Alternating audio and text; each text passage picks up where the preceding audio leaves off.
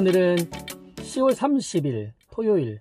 지금 시간은 오후 2시 반 정도 됐어요. 제가 이제 신지로이드를 끊은 지가 3일 됐고 같은 경우는 아침에 잘 바르고 왔는데 오늘 생각보다 날씨가 좀 덥네요. 제가 오늘 부산에 약속이 있어 가지고 우리 가족들하고 같이 어, 부산에 왔는데 집 쇼핑하러 갔네요 어, 남포동에 오니까 서구청에 주차를 할 수 있는 공간이 따로 있어요. 뭐 물론 유료긴 하지만 남포동 구경할 때 다른 데 주차하기보다는 여기가 좀 더 좋은 것 같아요. 3일째 신지로이드를 안 먹고 있는 상황이긴 하지만 뭐 나름 괜찮은 것 같아요. 처음부터 걱정이었던 것들, 뭐 우울증이나 그리고 이게 감정선의 변화들이나 이런 것들이 많이 있을 줄 알았는데 생각보다는 괜찮은 것 같아요. 생각보다는 그래도 조금 아침에 일어나는 것들이 좀 무력하다 어, 그런 느낌도 좀 많이 들고 어, 잠도 좀 잘 안 오는 느낌도 좀 들고 그런 분들이 계시다더라고요. 이렇게 손발이 붓고 그렇다는데 그런 게 조금 있는 것 같기도 해요. 어, 손발이 좀 오그러든다 하나 어, 그런 것들도 좀 있고 하지만 뭐 이 정도면 참을 수 있을 것 같습니다. 다음 주부터 11월 3일 저요드식이 시작이 되는데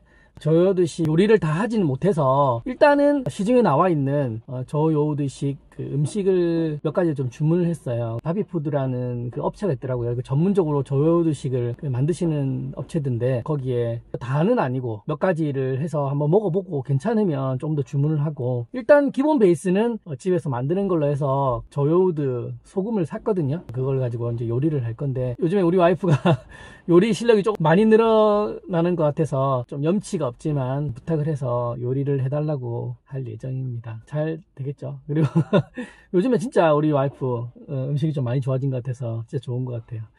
어, 어쨌든 지금 상황은 괜찮은 것 같은데 3일까지는 괜찮네요. 이제 또 어떻게 변할지 모르겠지만 생각이 좀 바뀌고 감정선의 변화가 생기고 이러면 그때 또 바로 촬영을 해야 될 것 같아요. 그래야지 어, 같은 상황에 계신 분들한테 도움이 될 거니까. 3일까지는 괜찮습니다. 3일까지는.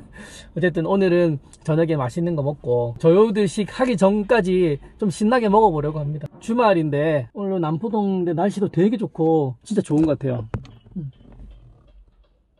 이게 이제 서구청 주차장인데 어쨌든 행복하시고 자주 올릴게요. 그럼 다음에 볼게요.